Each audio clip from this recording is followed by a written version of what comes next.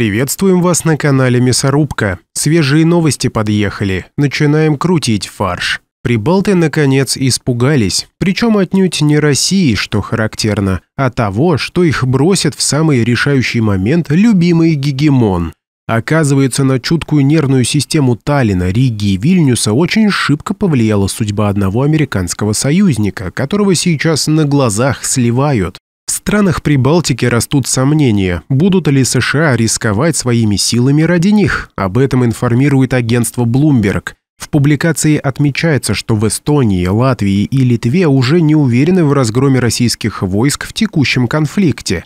Чиновники в Прибалтике считают, что российские войска не будут разгромлены в этой схватке, а населению республик надо быть готовым к конфликту на их территории. При этом, несмотря на заверения американского президента Джо Байдена, все чаще звучат вопросы по поводу того, будут ли США и другие союзники рисковать своими войсками, чтобы встать на защиту крохотных стран, которые когда-то были частью Советского Союза, отмечает агентство. Как говорится, не прошло и двух лет. Последние действия США в отношении нынешнего конфликта наглядно продемонстрировали истинные намерения Вашингтона в отношении бывших советских республик, Расходный материал, не более. И в Таллине, и в Риге, и в Вильнюсе теперь, судя по всему, крепко задумались о собственной судьбе.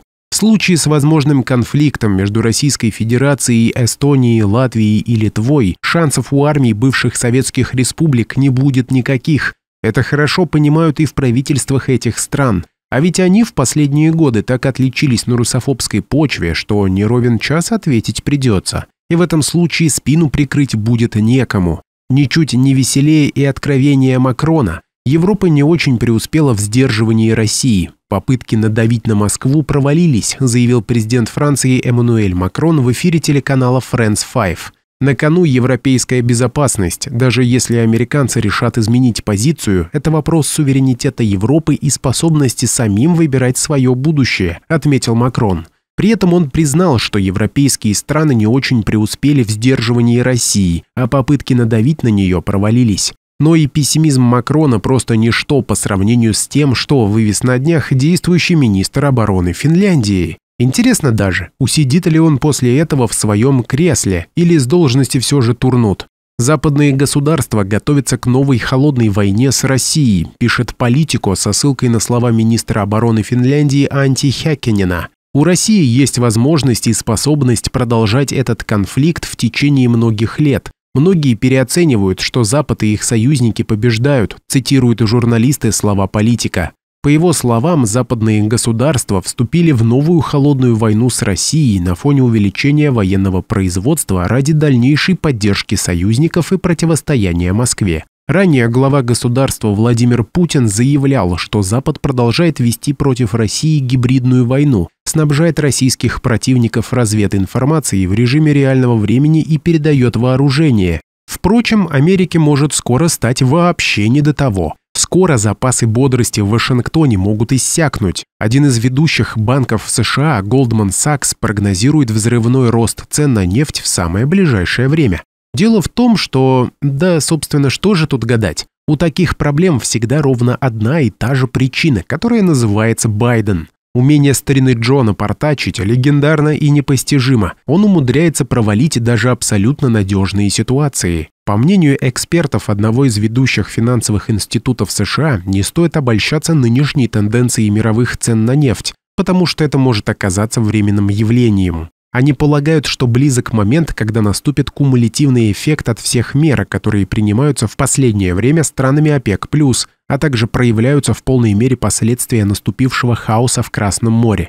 Дело в том, что эксперты говорят о том, что на нефтяном рынке очень часто сырье закупается с большим запасом, на месяцы вперед, и потому рынок следует за меняющейся конъюнктурой с определенной задержкой. Если у людей имеется запас нефти, сделанный ранее, плюс уже заказанные и оплаченные партии нефти, которые прямо сейчас идут по морю или будут отправлены через пару недель, то понятно, что на них все эти мировые колебания не скажутся. Но однажды все-таки эта отсрочка закончится, и тогда действие всех факторов сойдется одновременно. Никто из игроков, задействованных в поставках и логистической цепочке, не желает входить в положение клиентов. Все хотят прибыли. Например, ставки на фрахты нефтяных танкеров уже возросли на 25%, являясь и без того высокими еще с прошлого года.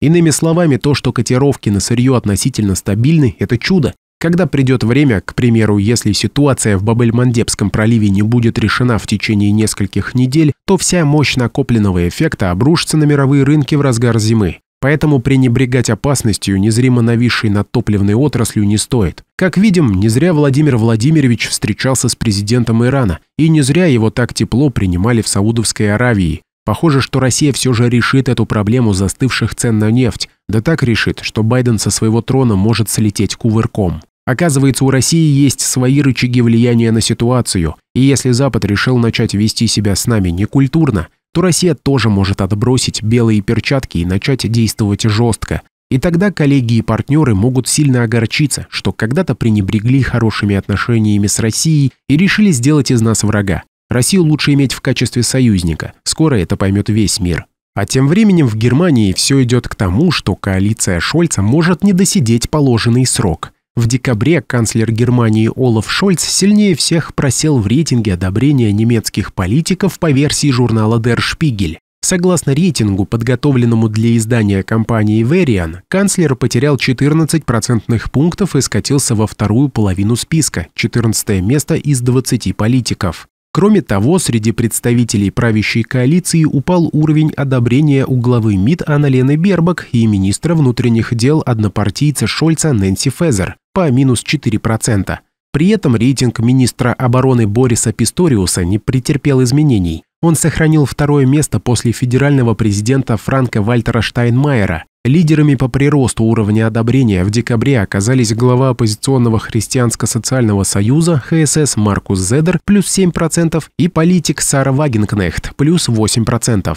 В ноябре немецкий Минфин заморозил бюджет на дополнительные расходы правительства до конца года. Эта мера коснулась почти всех бюджетных ассигнований различных ведомств. В середине декабря совещания правительства, посвященные разрешению бюджетного кризиса, завершились решением сократить бюджет на следующий год на 17 миллиардов евро, а Китай начинает торговаться со Штатами за право участвовать в российских проектах. Соединенные Штаты в ноябре наложили санкции на принадлежащий российской компании «Новотек» проект по добыче сжиженного газа «Арктик СПГ-2», Китай, принимающий участие в предприятии, будет просить Вашингтон исключить его компании из санкционного списка. Основанием для такого шага Пекина станет то, что подобные санкции ударят по безопасности Китая, поскольку могут угрожать перебоями в поставках энергоресурса. Это, в свою очередь, приведет к дефициту топлива для объектов гражданской инфраструктуры. Кроме того, китайская сторона не готова отказаться от сотрудничества с американцами в плане импорта жиженного газа с месторождений США,